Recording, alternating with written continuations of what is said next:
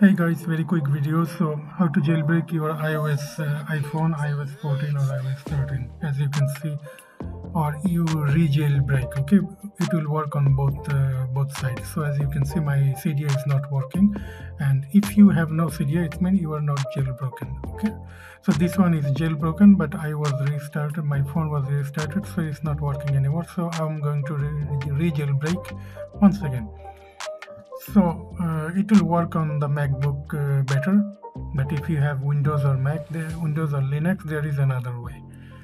So first you need to go to checkra1n as i have uh, i have jailbroken with checkra1n before so i need to do with checkra1n again. So you download checkra1n and you need to install this application. I think uh, so i do not have. This is the new operating system so i have downloaded it already. It's only 10 mb so let's install. So here drag and drop on your application folder.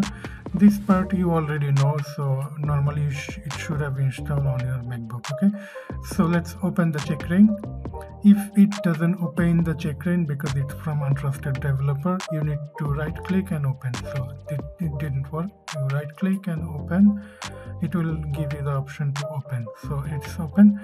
So um, it already found my iphone x okay? 13.5 pro on click next and uh, click next. It will put my iphone on the recovery mode automatically.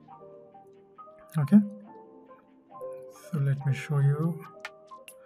If your iphone is not turned on or in battery um, so okay let's finish this first okay?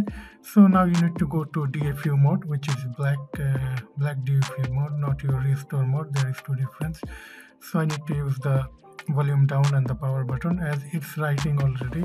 So after I click start, I hold the volume down and power button for 3 seconds. Then I let go the power button.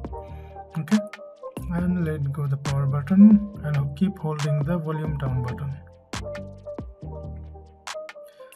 Okay, so as you can see, it's already in uh, working background.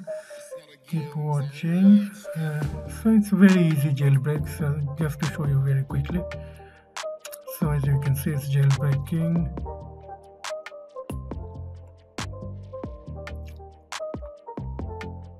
Don't be afraid with all this code and everything okay?